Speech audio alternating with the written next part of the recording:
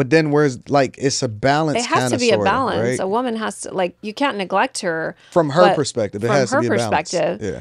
But you also have to give her energy, but at the same time, a real one, one that you Yeah. you know select to, to be like partner, wifey, however you guys you know uh, write it out. It's like she's going to understand. But then when you're with her, you have to give her presence. Yeah, and I could pay attention like- to my chick. I could I could look at her in a way that she's walking across the room and tell what type of what if something's wrong with her. Right. If she may be having a problem with I don't know our kid or What- you know her mother the said something right. right. I can sense. I can. I'm connected to her enough to actually be able to look at her and say, "Come here, come sit on my lap." You know Mm-hmm. what I'm saying? Like, and just I I'm aware I'm connected in that way. Right. Most people I would say aren't especially considering like what you told me the other day when you said that most people aren't even really having sex that are married. Like a lot of Yeah. marriage, a lot of marriages are sexless. Well, because things just get comfortable, right? Like, Yeah. think about it. When you're first dating, you had to plan a date, you had to pick her up, you had to go to a restaurant, make reservations, you know, pick out an outfit, do your hair, get your makeup done. Women Yeah. Mm-hmm. get ready for dates.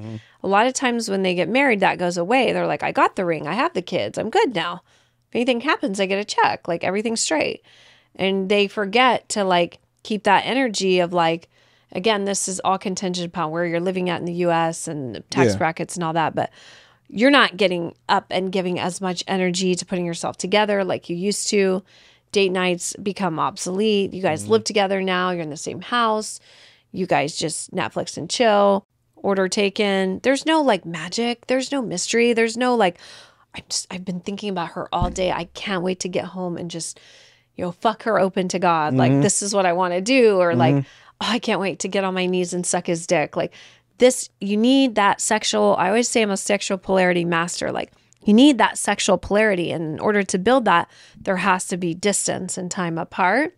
I so say that that can come together all the time. There has to be separate activities of building divine feminine, divine masculine energy so that you guys are doing your life over here. She's doing her whatever she's into, you know, Mm-hmm. beauty, spa, music, girlfriends, you know.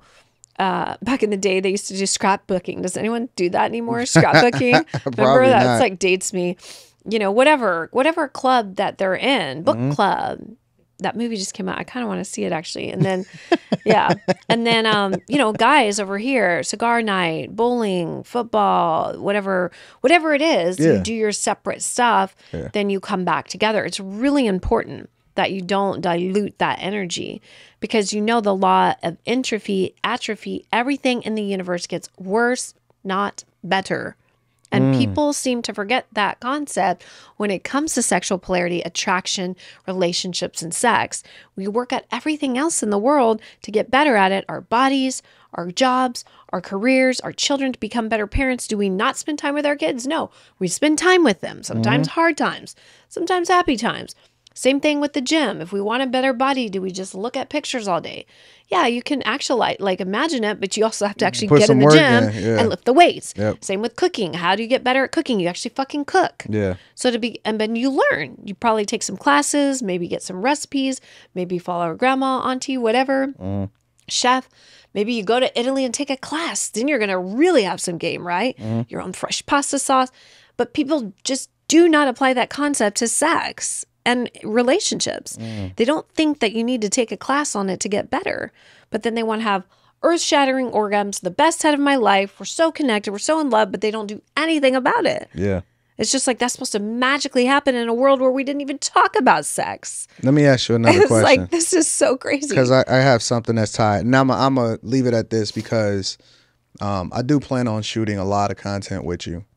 Um, but let me ask you this question: Considering what you said about, uh, you know, there needing to be time apart, in Yeah. which you know he's cultivating whatever it is that he's doing based off of his and living his life, she's living a life, and and absence makes the heart grow fonder, whatever that is, right? How do you think that the pandemic affected relationships considering that people then had to be kind of locked in with each other for a while. It was weird. I checked the stats because I heard all the stuff, but I also am always checking stats just to see what what was really going on. There was a lot of divorces. I think more divorces than in a long time. I don't know the exact uh, uh, years, but there was a lot. But on the other hand, there was also a lot of marriages. Like it was almost impossible to find a, a like a venue Yeah. and stuff. I read that as well. Yeah. So there was kind of both, which it was like if you were in a relationship and it wasn't working, it just did not like you got stuck together and it didn't make things better. It made them worse, right? Because then you're with that person, unable like unable to like leave mm-hmm. and then you have kids and then you're a homeschooling kid like all the stresses that that come and it just it did split up a lot of couples probably for the better right mm-hmm. even though i am for the family dynamic staying together at all costs even through cheating i don't believe in divorce like mm. that unless there's a physical violence abuse then of course it goes back to the first law of, of yoga the ten commandment if you will is like nonviolence Yeah. so other than that, I'm for family staying together. Yeah. But in regards to like the marriages, it was also like couples that kind of got put together. It was more it, it was kind of like, okay, well, we're in this. What do we do? There's a lot of kids that were born, obviously, right? Um, and so I think it was a lot of um like old chapters being closed and then a lot of new chapters how the relationships are faring today that's the new stats that i want to check out but last i checked the the marriage and divorce rate was pretty much so the same. It was about in that um it, it vacillates from like 50 to 65 percent. But at one time when i checked about a year ago it was like not even 50 so it was kind of going back and forth. Yeah. um, so I think what the pandemic really did for relationships was it amplified whatever was going on. Right? Because they say money doesn't. Make make, you something, person. it just amplifies whatever It it, is. That's So. I think if there was problems there, the, the problems just went boom and imploded and divorce. Hmm. I think if there was like a budding of a like a new something, like for instance, my neighbor is a perfect example. My neighbors across the way, they don't live there anymore. There's a cute couple and they both worked in like some kind of medical sales or something i forget exactly she lived here he did not he was from the bay but they worked in jobs and so he had uh, in the same company that, i guess that's how they met because what's the number one way people meet their spouse or Yeah. the, someone they cheat on What is it It's at work. proximity Yep. so everyone People that's closest remember to that you. Yep. if you're trying to get married and you don't leave the house bad Yeah. Bad news bears. Go out and meet people. Whatever it is you do, go to church, go plant a tree, go to the store, That's do something. You know, what's wrong. It's not leave the homes. It's not happening. Leave your homes. So proximity is how they met. He was down here visiting her Mm-hmm. for a weekend, which I'd seen him before, obviously. And then the pandemic hit and they were quarantined everyone. So he couldn't leave. He just ended up staying here for like the whole whatever that whole pandemic time. Then they ended up getting like engaged and they moved she moved to the bay with him. Mm. So it worked, right? Because it mm. was like so it just amplified whatever was going on, mm-hmm. right? Um, but I think people got really used to also being in isolation. So if they weren't coupled up, then they kind of stayed that way. Like, Yeah. and today, like you said, they're more opt to just get on an app or just slide a DM or just do uh, uh, porn. The other thing I think is interesting is people will get on dating apps, but they won't actually date.